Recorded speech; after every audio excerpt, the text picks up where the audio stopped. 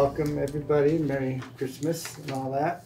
Um, We've warned this meeting appropriately in three places around town and on the website and emailed to interested parties so we can move forward tonight. And um, start off with the minutes from the last meeting on December twelfth.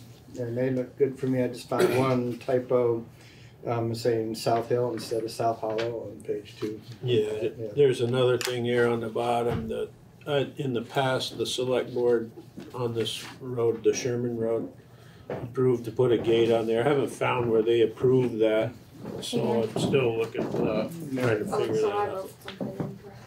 Oh, Yeah, it's, you, you put down that the select board approved it. I'm not sure they approved this. Oh, okay. I think the guy, the two previous owners before is what Bruce was telling me, they established the gate without permission. Okay. And I haven't found where the select board approved that, but I, according to Bruce, they just let it go, so. um, So with those couple changes, did you have any changes? No, I did not. You So- guys covered it. All right, I'd move to approve the minutes with those few changes. Second, All in favor? aye. Alright. Okay. And, hey, good timing. That was the next item on our agenda was, um, mm, coming in to chat about the Granville first response. And what do we got in this printout here with all this very small print? So, What you um, have there is, um, and Daniel has the same thing, um, a list of, uh, Werva calls to Rochester, mhm. only Rochester. And the ones highlighted in yellow are the ones that Granville were not able to respond to. Okay. No, that is incorrect. Okay, Uh, Those calls are the ones that, according to the Werva reports, there was no confirmation whether or not first response was on scene. There's a lot of reasons that that could have been. A lot of it is just whether or not the crew took the time to put the check in the box. Um, They typically do not keep track of whether or not first response is on scene. That's up to the Werva crew to put the check in the box. Yes, so do you have a list of ones that you did attend that would correct this? so looking, looking through that call list, and I'm actually glad that you went to Werva and had that information printed out because um, about forty percent of the time, the information actually correlates with what we have. I was able to find that twenty percent of the calls, there were hundred and seven total this calendar year. Twenty percent of those, Granville was never even called to. Um, and that goes back to a dispatching issue that we have been fighting with for about a month, a year and a half or more. Um, our nine-one-one call center is not dispatching first response at the same time as the ambulance service or the fire departments. Um, that's a topic that I had brought up at our officers meeting with Rochester and Hancock quite a few months ago. And that led us to go down the path of switching our dispatch centers, which we are actively uh, seeking right now. Um, of the 87 EMS calls we were called to in Rochester, I can confirm we were there for 93% of them. There are some reports that I do not have. And there is one call that I know we did not have personnel for. Um, the, as in the past, um, the working hours of the week, Monday through Friday, five AM to five PM, that is the toughest time uh, that we have staffing. And that's the case for any volunteer organization. That's just when people are working. Um, So the, the answer to that is recruiting. We gotta boost our numbers. Um, you know, and that's something that now that we're out of COVID, we can start going door to door, talking with people again and holding training exercises to get people certified. Um, So you're saying that out of all of the times that you were toned out in the last, in twenty twenty-two, that there was only one call that you did not respond to? One call that I know of. I have a scanner.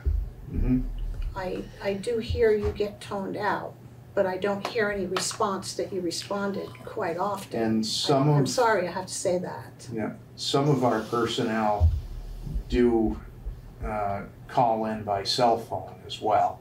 They will call the barracks and let them know that they're en route or on scene. Okay. So between people using their phones to call in that they're responding and Werva not checking off the boxes, that's where you're closing the gap of saying that you have responded to all but one call um in the, in twenty twenty-two. Correct. So how many people have you got on your crew now? We have eighteen active. Yeah. I believe that's, Didn't know that. Yeah. On the Granville first response side. If you're a fire department member, are you also first response or is that too? yes, all of our Okay. members are certified to some level for EMS, Okay. yes. And what would you hope to bring that number up to with uh, recruiting more? I wanna see an active roster of thirty people.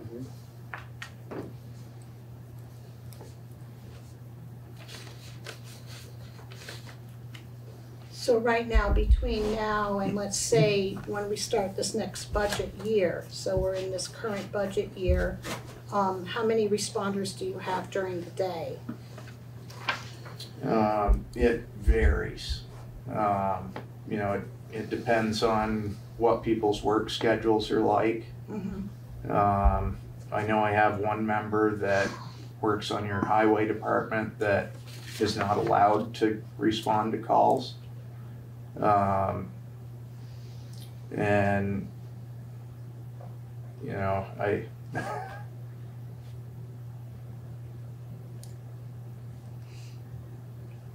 I understand there's only one person that's available during the day. um, I'm not sure where that information would have come from. Okay. And you are available, let's say at five thirty in the morning, or is that when you are leaving to go to work? No, I'm, I'm gone five AM, five PM. Okay.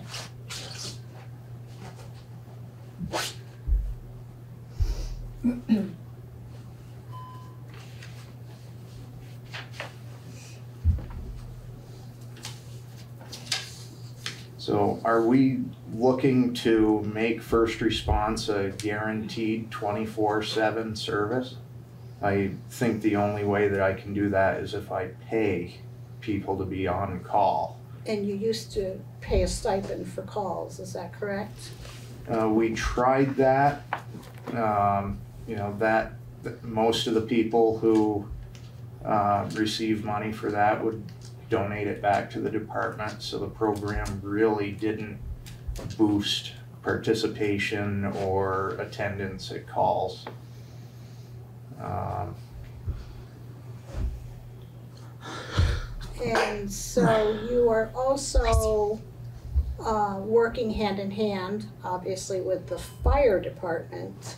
it is one organization, So the, the, the funding that you're requesting doesn't go into stipends, it's going into supplies,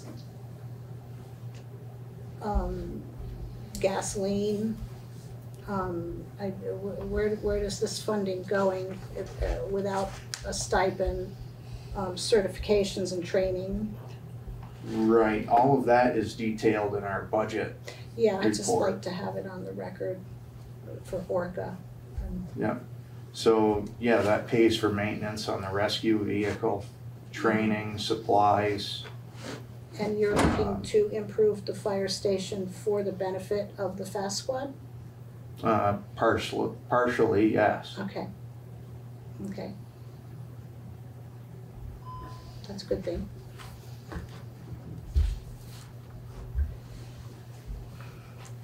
These programs where you're looking for more recruitments, are, are, are they going to, are those wheels going to be in motion within this next budget season? Cause it's a four-month process, six-month process?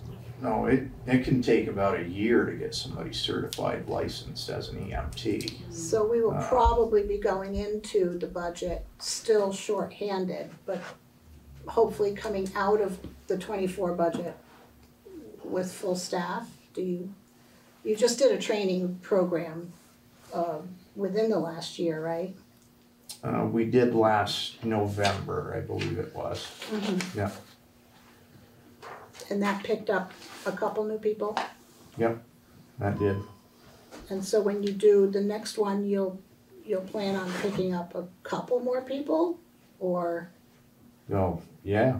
Um, it's all gonna depend on who's willing to volunteer. Um, a lot of that focus is gonna be here in Rochester, trying to recruit additional members. That's where our population is. Uh, that's where most of the call volume is. Um, I did my six years. Yeah. um, you know, if you know anybody that is interested, um, another quirky thing, um, I think there may be some interest on the Rochester Fire Department and members joining, but I believe the bylaws actually prohibit Rochester members from being members of any other fire department. Um, So would, would restructuring a little bit help you? I mean, you know, possibly. being an independent, being independent from your fire department, or is that, um, just too much of a nightmare Well, to become your own Yeah, as, nonprofit? as far as separating the two, you're feeding another animal. Well, we did it here, yeah. Yeah. Mhm. Um, I, yeah, we had, we had decided when we started first response that it would be under the fire department and, um, it's in a lot of ways easier. Mhm. Um, Switching to Middlebury, mhm. what is that going to do? Um, there'll be, you may be getting your communications quicker because it's coming through Middlebury dispatch, is that what I wanna say? yeah, Middlebury ambulance. Okay. Um, so at that point, will you be able to speak to Werva as well? Will there be a, So we are still gonna have access to all the same radio frequencies. Um, we are working with, uh, Matt Parrish at Werva, um, so that, you know, especially in the first few months, we're gonna be monitoring multiple radio frequencies. Um, and I will be receiving reports from him on a regular basis so that we can compare, um, the tone times, um, you know, right now, that was another thing I noticed in that report. Um, we have experienced delays of as much as twenty minutes in the time that Werva's called when we are called. And twenty minutes, I, why call at that point? Right. Um, you know, we can't be an effective part of the team with that kind of a delay. they did, it- yes, I do, I do hear that often, um, and I pay attention to it. But I don't know that it's often that Werva takes twenty minutes to remind dispatch to call you. It certainly wasn't No, today. And it's, it's not their responsibility to do that. But it's to their benefit to the- have you there, like today with the, the supposed car accident. Um, you know, they, they came right back to dispatch and asked for you to get toned out. Right. And that is something that I have asked them to do. Um, really, that is the dispatcher's job Mhm, to tone the necessary agencies, and they are not doing that. right, Um, that is due to a lack of staffing on their end. mhm, There are thirty-six positions down there, and last I knew, there were only eighteen filled. Hmm. So, yeah, I can notice that as well. Anybody else have any other questions? I don't, Appreciate you coming in. absolutely. Um, is there, aside from staffing, I know that's, that's a major concern to you. Um, are there any, any other services, um, anything else that we could address in the coming year? What are you asking? You want to expand your services? Well, I know, um, that backcountry rescue, that's, that's something that is on our radar, um, because of the trails and, Mhm, and Yeah. all that are going in. That's gonna become more of a, a- of an issue for us to deal with. Um, do you have anything else on your radar? Well, that, that is something that I mention often, um, and, uh, we do depend or rely on Killington services for rescue right now. But on a, on a hefty day, um, they could be very busy over in the Killington area if we have, if we need their help. Um, so I do support any entity, and I, and I know that ROC is, uh, attentive to that. They're, they're they're paying some pretty close attention to that aspect right now. Um, so maybe you'd wanna get in touch with them and, and see. Um, in addition to the fire department, they have been called out for those type of calls. So, um, the more service we have, the better, um, because we want the trails to be supported. Right. And um, I do know that um, one time I encountered someone that uh, had some nine, ten, twelve-year-old kids, and um, they were reluctant to use our trails because of the factor of if they got hurt or if they got lost. So they were going to the Killington trails, which are much more moni- monitored Okay, and safe for their children. We want to expand into that and, and make our trails, make people feel safe on our trails as well, Sure. so.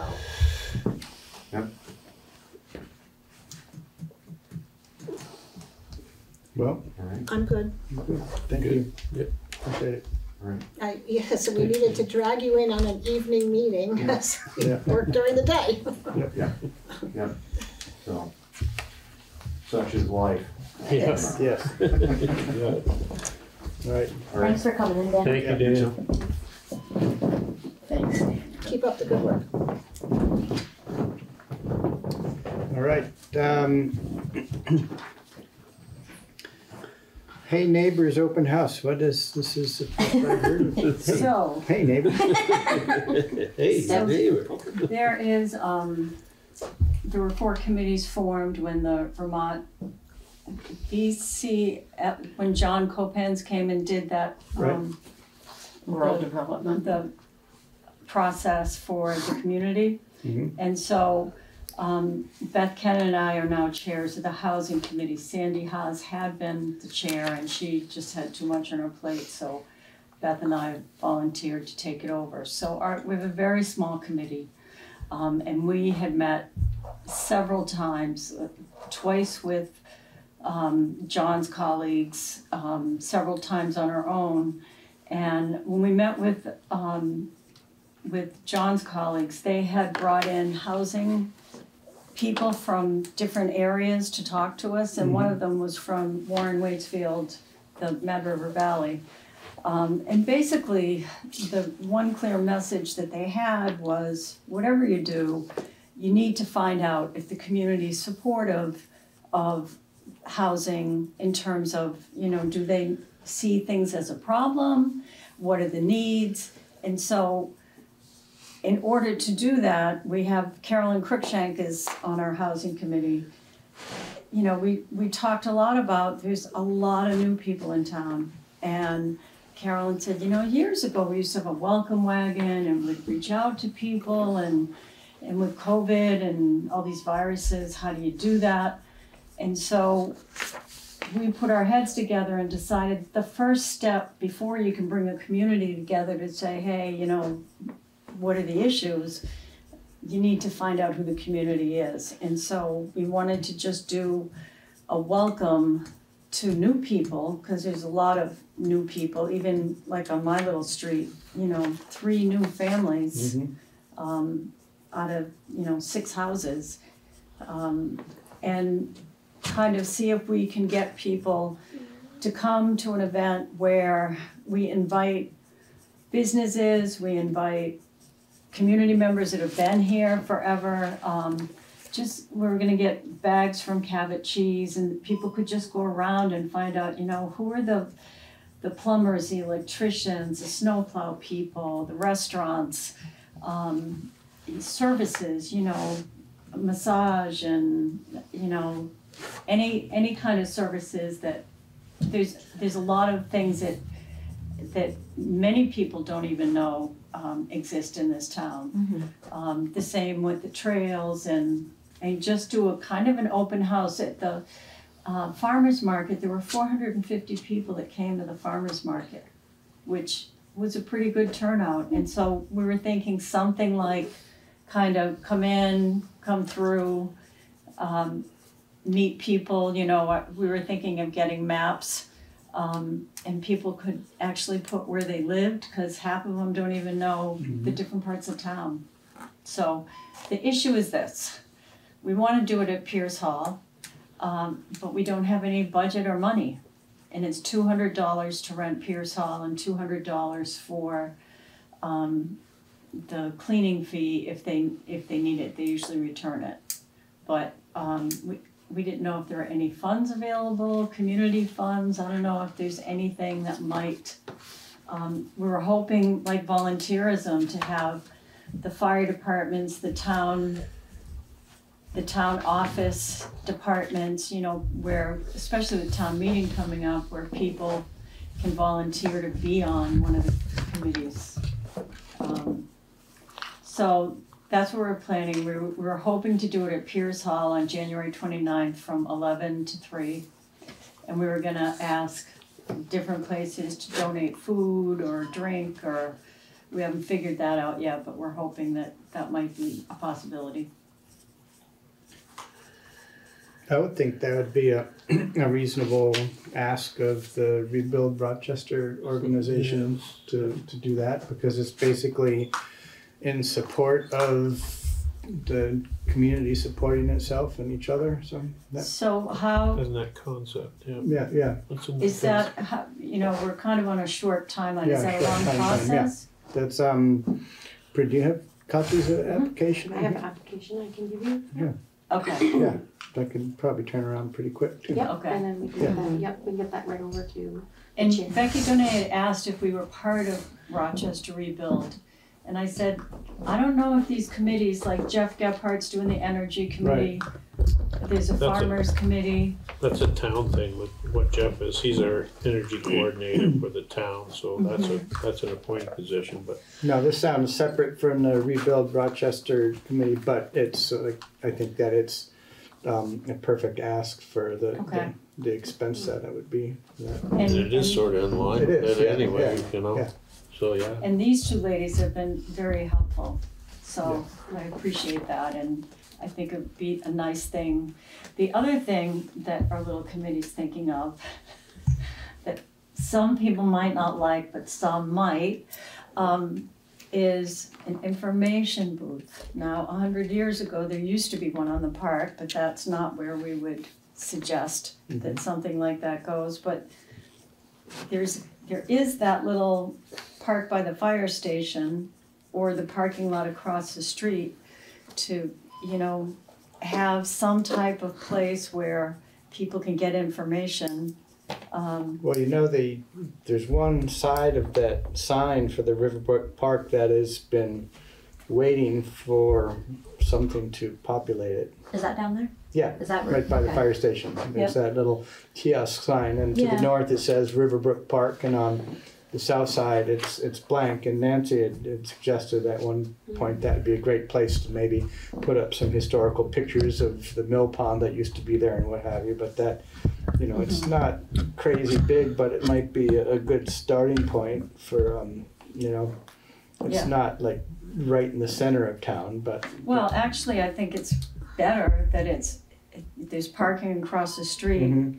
And it's convenient that people can go and check things out, cause rather than the center of town, Yeah. actually.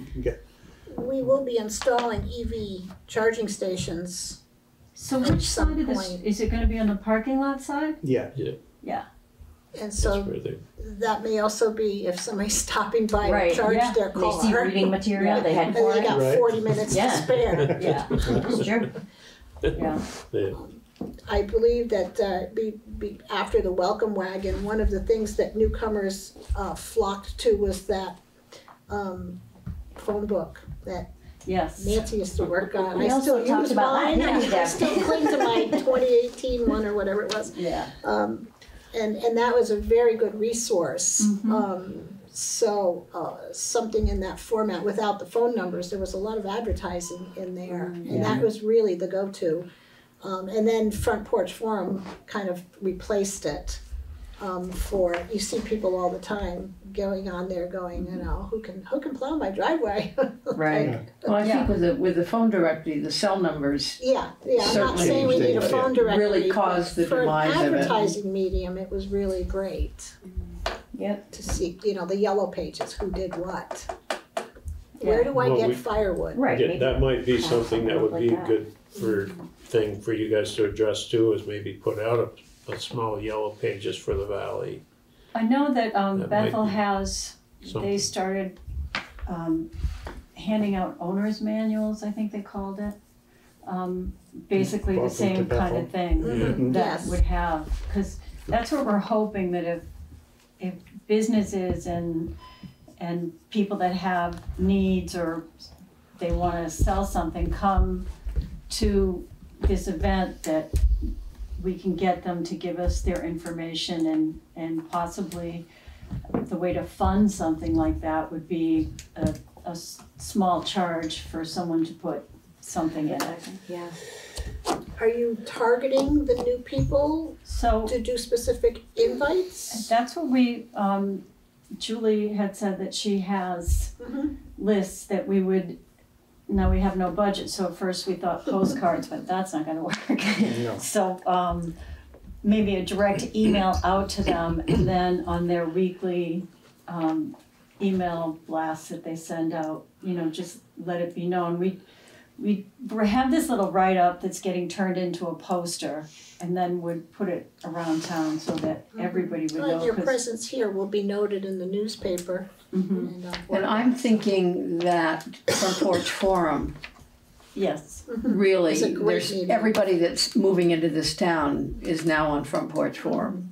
yes, yeah, So in, in that idea of a owner's manual for living in town, which is that's kind of a neat idea. It seems like the the annual town report, the a page in there could could be a, a stepping stone towards that. Even if it doesn't have all the information, it could give some basics and, and recommend front porch forum or what have you to uh, you know. But that might be. and, yeah. and a that's lot of- something that goes out every year to every taxpayer, right? Yeah. That's a Registered idea. Voter. registered voter. Registered voter. Registered voter. Which is not necessarily every taxpayer. True. But when they come in, there's always a handful there if they're, Yeah. they've Yeah. crap on. And, And and a lot do a take. lot of organizations need new volunteers, cause our volunteers are aging, mhm. what a surprise. That's true across the board. I would think a little information to get out to the people that do have businesses and everything, that they could put together a little blurb about their business and mm-hmm. drop it mm-hmm. off at the town office, and you could almost put a staple in it and take it over to the Pierce Hall when you do have something like Right. that with a little, Cause we are gonna have bags that we can put stuff in Yeah. for people that can't come on And that day. I like the idea of the town report. Um, Cause it's, uh, if we could even just do a one-page. it's one page. Yeah, Yeah. It's, um, just a little synopsis of what's going on and And then it also has all the other Yeah. deeper information about how sexy it is to be a volunteer. Absolutely. Yeah. Mm-hmm. Yeah. And Julie and I get lots of phone calls from new people like, what do I do with my trash? And, you know, like just Yeah. who mows my lawn? And a lot of questions like that. So we've been having thoughts about this for a long time. This is Should use the awesome. local realtor. Yeah, we'll do any, we'll do And anything we eventually down the road, you know, with different issues that come up in the community, to have a community meeting, then hopefully lots of people get cross some section would feel volunteers from welcome. that, Yep. Yeah, yeah. Yeah, sounds good. and so Julie, if I Thank talk to you tomorrow, can you help me with the Yep, rebuild? if you've got a second. Got a second, should go grab one for you right now. Oh, yeah. It's easy. Just a quick application. And then we just pass it on. Oh, Yeah, it's quick and- You guys are closed the rest of the week anyway, right? Kind of, yeah. oh, okay. Oh, We're just okay, yeah, cleaning and getting ready for the new year. Yep. That's right. We'll be in and out at weird hours. Well, thank you for taking this on. Yeah, Yeah, that's Well, we'll a see. good good project. idea. Sounds good. Good thing. Well, it- you know, Carolyn Cruikshank really needs the credit, cause she comes to every meeting and Mm-hmm. she's just, she, she knows a lot, she's been here a long Yeah, time. a lot of energy, yeah. Yeah. Yeah, good. I'll grab that. Thank you. Okay, thank you.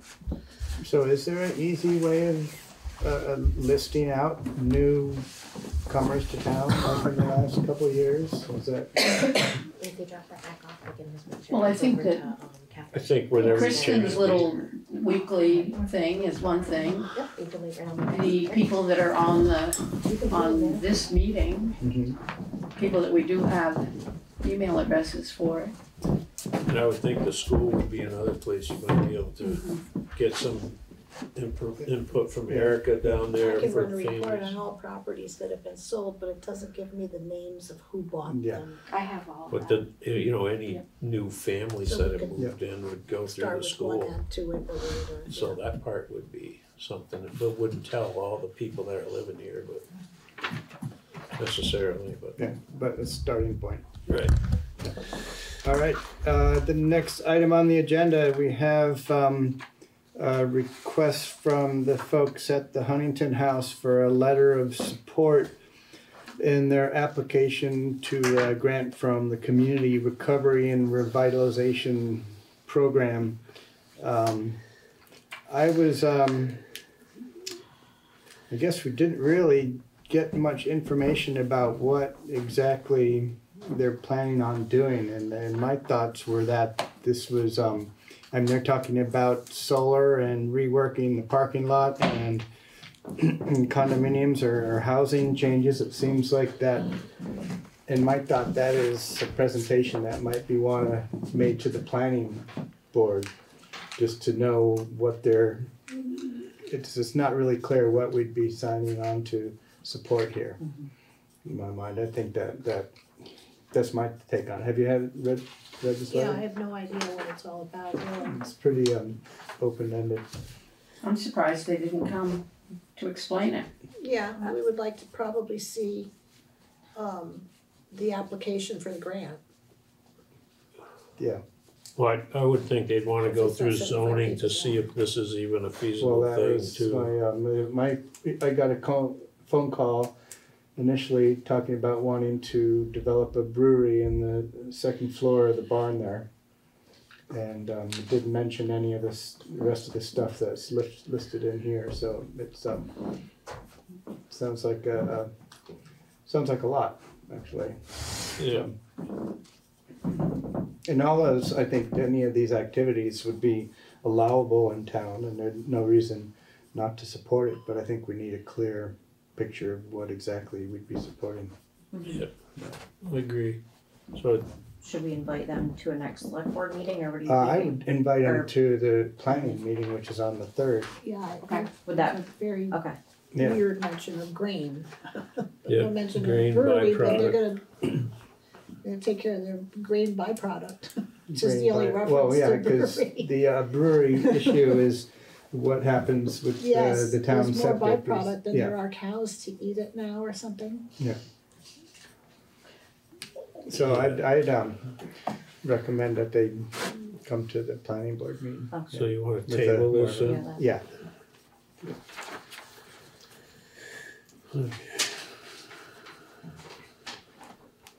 Keeping in mind also, they don't own the condos next door. It's still privately owned. Yeah, They not, manage yeah. it, but we It's don't not own real it. clear what they're, Yeah. intention is.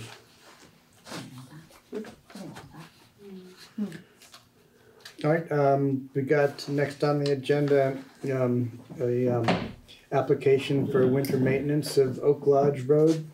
Is it, um, is it the time warp or is this something that we did a few weeks The- ago? the continu- it, this is, um, we do this every year. Right. They, yeah, Every year, but I thought that we had done this relatively recently, but not this year yet. I do have a question. Is Yeah. that person specific?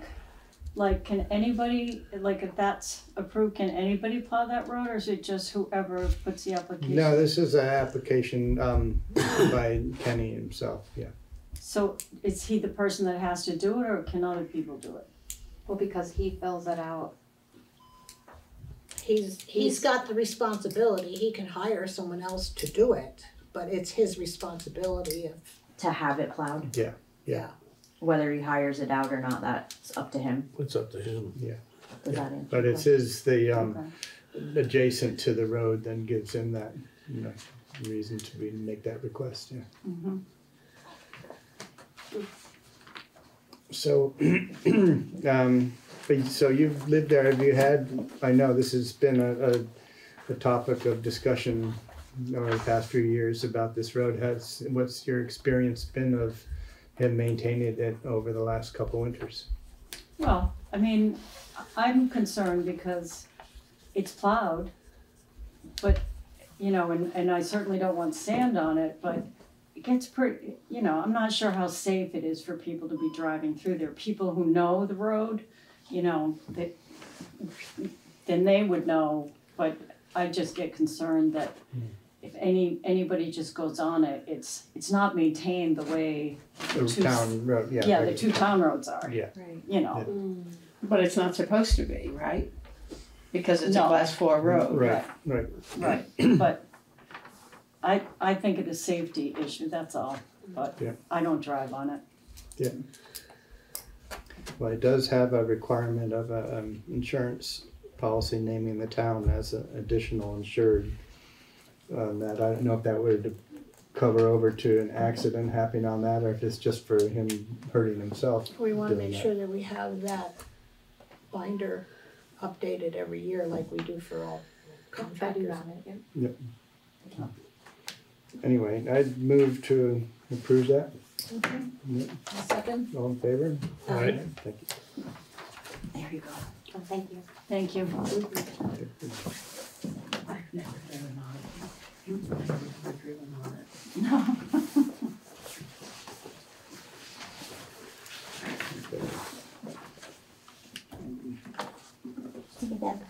Thank you. Have a good night. So, uh, recurring theme, um, now that it's winter, is the issue of people plowing snow across town roads.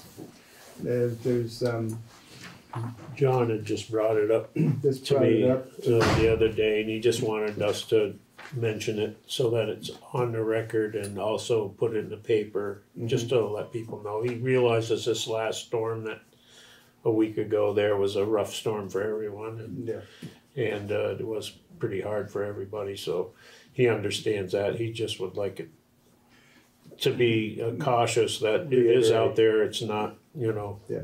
you're not supposed to do it. So Yeah. if you can, ho- So you know, that- avoid it. bold type Martha. Martha's not here tonight, but. No, I'm Martha. but Yeah, yeah, all right. Yes. That's all. Jo- That's all John wanted to say. And people may not realize it's not just an arbitrary thing, but when someone plows across a town road, uh, they very often will leave little ridges. Right. And then those can freeze up, and then when the big trucks do come down the road, that, that could lead to, you know, there's a good write-up in that, like using those words in that book, and I took a clip of it out of there and put it in my weekly email to the town Yeah, people it's that have good. signed up for it, so And we do have Hopefully the it power helps. to you can impose ticket, and- fines. yeah. Yep. So, um, And Julie put that in the paper too, right? Like as your own little snippet. If Did you get it in there that day, picture, or was picture, it late? I don't know if take a it got in photo, there or not, so. Yep. What's that? take a photo, picture, picture, picture. Yeah. Yeah.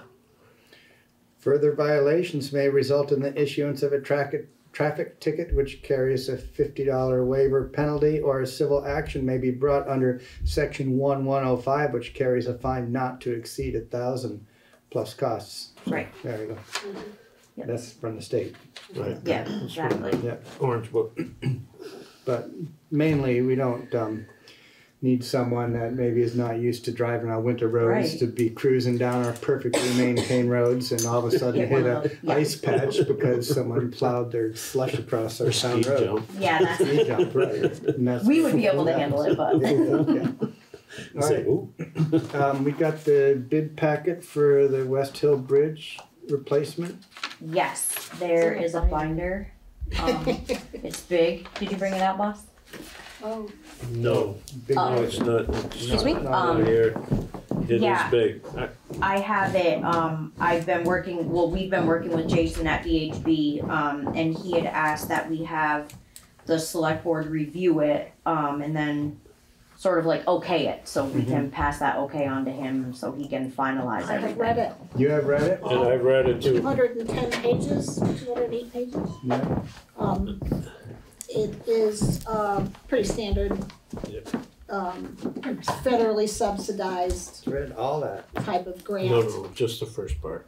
I did, I read it all. I didn't read it. Um, there's a lot of, there's a lot of tables in there Yeah. and, um, I also, requirements for All materials. requirements, yeah, Yeah, all yeah. of that's in there, and so that's pretty, pretty standard. I did talk with Brian Austin about it. I called him and he said it's just that they, we're, it's up to us to choose the contractor. And they would like to know, they don't have, necessarily have to know who it is, cause he's gotta meet all the standards that they have there. And I told him that we would inform him of our Yeah. selection and that he could Mm-hmm. have a say in, in that if he wanted to. Right, and it's a bonded job. Right. Yeah. So they're, they're all aware of it and so that's, it's all pretty good. I think it's set up all right. So once we approve this, when does it go out to bid? It's supposed to go out this spring. And, no, it was supposed to go in January. Right. yeah, they're gonna put it out in January, selection will be in March. So January's next week, isn't Everything's it? a I year move late. to approve this packet. Move to approve the bid packet, Yeah. Let's see who we shake out. Okay. All in favor? Alright, Aye. Aye. All right. so I think we, we have to sign something for that, I think, in there, don't we? Um, not yet. Not I don't yet. know. Not yet. No, we just This have is to, just, I just now, I just have to touch base with Jason, let him know that you guys approved it. Um, he'll do the double checking, have you guys sign something and then we can post it. All right. Cool. And Julie and I have instructions of where to post and who to go to and all that stuff. Yep. Great. Well, that's um exciting. Comes within their budget. Yeah. Right. See if that bridge makes it through one more winter. Yeah. One Actually, last- the one- construction is, is that for this summer or? Yeah. Would be, Yeah. hopefully. Hopefully. The, Starting. the, June and ending in October. October, yes, yeah. the, so I got an October finish, completed date on it. Um, anybody on Zoom from the library tonight? No. Nope. Nope. Um, any re- more reports from the highway other than uh, telling people to stop plowing or snow? Um, John and I, we took the little, um, drug course there through the state, uh, one day last, uh, week or week before, I guess, week before. And also we met with, uh, Greg Russ and Cricket over at the, the, uh, River, Riverbrook Drive for that culvert replacement. They're gonna, uh, uh, put that out pretty soon. I signed a paper on that, or got it ready for him to, to go anyway, so they're gonna put that out to bid. Yeah. They'll be going forward with that, and that's a hundred percent funded from them, so. And John's put his, uh, stamp of approval on it. Um, And we, you know, so that it's gonna cure a little bit of the slope on the hill, which they're all for doing that. Uh, so it looked like it was a plus and a go, and John was happy, so Alright. we'll go forward with it. And that's about it. Other than that, the, the guys have been working plenty of overtime. Yep. Yeah, They had And a they're- little bit of a break for Christmas. so Yeah, good. and things have held up, but they've, you know, he's patched, John's had to patch them up a little bit. Yeah, But that's standard equipment. It's been rough and I just hope they can get some rest for the rest of the week. Not have to worry about it too much. They've been busy and done a good job. Mm-hmm. Terry on there? nope, he's not. Nope. Or Jeff? Nope. Nope. All right, um, grant update. Pretty, pretty quiet this week. Um, on the thirteenth, the Rogers Brook application was submitted, so we should hear about that like maybe in a month or so, they said. And also, I would like to report that we have received additional ARPA funds. There were two towns, um, in, that did not accept their federal funds, um, so they divvied them up. So we received an extra seventy-six dollars and sixty-eight cents. Lunch money. Gee, So that's in our savings now for ARPA, so, Huh, even fill up one of the 76, 68. Yeah. yep, Ooh, we Careful can with change a that. tire. I knew you'd be excited to hear that, so, Oh, and that's it, we're going budget crazy now. yep, I wonder what towns Yeah, I didn't was accept wondering why their a town ARPA wouldn't money. take the money. Or did they just not Maybe it was a sign? gore. Maybe it was a goal. We don't know how to spend it. Um, Anybody have any public comments out there? Frank, were you going to bring up parking on Route one hundred? Um, I, yeah, that was another thing, I'm sorry, I, I kind of spaced that out. Um, Chris Bump had called me during the week and asked me if we had had an ordinance or if we could mention it about parking on Route one hundred during the winter. Mm-hmm. Just because there was a car parked at the, on the Route one hundred side of the park for two or three days just before that big storm, but whoever's car it was, they were able to get it, they got it out of there Got it before. out? I mentioned to. Chris that we did have a parking ordinance in town.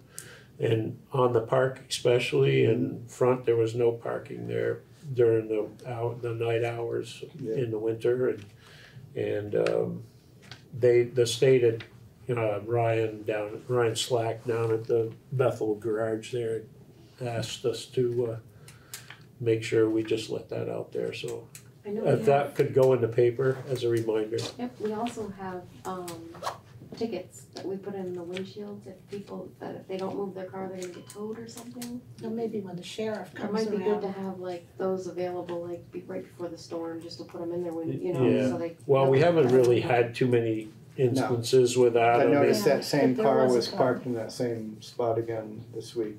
Not during a storm, but it's a, Yeah. So, but whoever it is, they, they seem to move it every day, I guess. Well, you could, you could ask, um, what's his name, the sheriff, Oh, Mike? to run the plate. on the plate. Yeah, I was gonna do that if, if I didn't, if the guy left it there. I Mike. told the state if, if there's cars there, plow them in. Yeah. Cause that's, I know, I, I don't imagine we'll see, uh, Nick Bakudo's van park down there. He, they plowed that in last year. Holy cow, he must have spent half a day shoveling. A whole day. Did he spend, it was a whole It, day? it actually was even more than that. Man, that, they plowed that in good. But, you know, it's just a matter of, so we do have that ordinance anyway, so I did tell Chris that. Okay. But we should po- post that in the paper too for America, that'd be good. Yeah. Thank you, Nancy. I- All right, That's us. Yep. I think that's it for tonight. I'd move to adjourn and pay some bills. A second. All in favor? All right, Thank you for coming out.